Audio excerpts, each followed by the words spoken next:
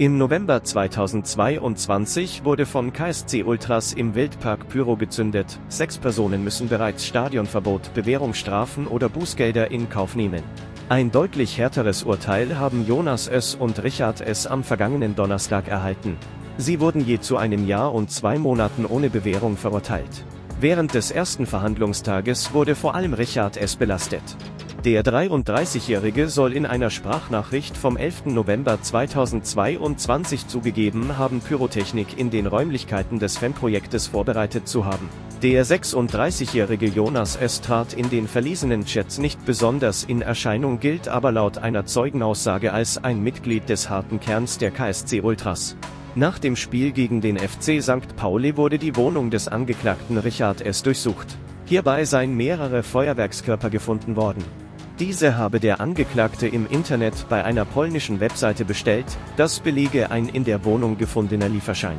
Der am 19. September gehörte Zeuge Marco G. wertete die Beweise gegen den 33-jährigen Angeklagten mit aus. Man habe im Stadion keine Reste der abgebrannten Pyrotechnik gefunden. Die Ultras haben den Block nach der Choreo aufgeräumt, daher könne nicht abschließend geklärt werden, ob es sich bei den im Wildpark eingesetzten Feuerwerkskörpern um dieselben handle, wie sie bei Richard S. sichergestellt wurden, erklärte der 57-jährige Polizeibeamte in seiner Zeugenaussage. Die Staatsanwaltschaft geht davon aus, dass sich die Tat so wie im Strafbefehl beschrieben zugetragen hat. Die Rolle der Angeklagten bei der Choreo sei daher ausreichend für eine Verurteilung.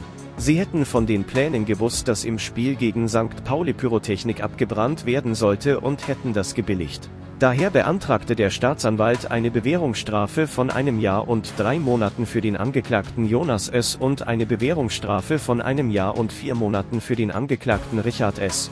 Doch auch die Rolle des KSC sieht die Staatsanwaltschaft kritisch. Vor dem Plädoyer wurde nochmal ein Video gesichtet, das die Einlasssituation am Stadion zeigte. Es ist beeindruckend, wie schnell man einen Fan von oben bis unten kontrollieren kann, merkt der Staatsanwalt an.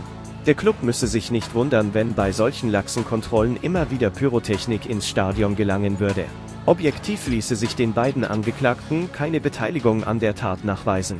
Man wolle lediglich ein Exempel an ihnen statuieren. Es wurde zwei Jahre lang miserabel ermittelt, argumentiert Rechtsanwalt Motzenbecker. Nun wolle man seinem Mandanten Jonas S. als Sündenbock nehmen, obwohl er sich nie in den Chatgruppen der Ultras beteiligt hätte. Dieser Einschätzung schließt sich Rechtsanwältin Hagenmeier an. Wir haben gesehen, dass wir nichts haben, eine Verurteilung Ihres Mandanten könne nur aufgrund von Beweisen ergehen. Diese gäbe es gegen Ihren Mandanten Richard S. jedoch nicht. Auch die von Richard S. versendete Sprachnachricht sei kein ausreichender Beweis für eine Verurteilung. Beide Anwälte beantragten Freispruch. Nach ungefähr 45 Minuten spricht der Vorsitzende Richter Dr. Holdefer am Donnerstagvormittag das Urteil. Jonas S. und Richard S. sind nach der Auffassung des Richters der gefährlichen Körperverletzung in elf tateinheitlichen Fällen schuldig. Das Urteil, eine Freiheitsstrafe von einem Jahr und zwei Monaten. Sie können froh sein, dass nichts Schlimmeres passiert ist, begründet der Richter seine Entscheidung und bezieht sich hier auf die Aussage einer Geschädigten.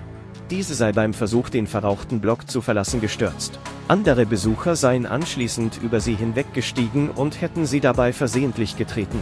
So kommen Menschen in ähnlichen Situationen ums Leben, mahnt der Richter. Holde versieht keine entlastenden Umstände im Verhalten der Angeklagten, die eine Bewährungsstrafe rechtfertigen würden. Weder ein Geständnis noch Reue hätten die beiden Ultras im Verfahren gezeigt, womit die Strafe nicht auf Bewährung ausgesetzt werden könnte. Das Urteil ist noch nicht rechtskräftig, beide Angeklagte können noch Rechtsmittel einlegen. Insgesamt wurden nach dem Spiel gegen den FC St. Pauli 28 Strafverfahren gegen Fans und Mitarbeiter des Fanprojektes eröffnet. Mit einem Urteil wären insgesamt acht dieser Verfahren vorerst abgeschlossen. 20 Anklagen stehen daher noch aus, darunter auch die Verfahren gegen die Mitarbeiter des Fanprojektes vom Karlsruher SC.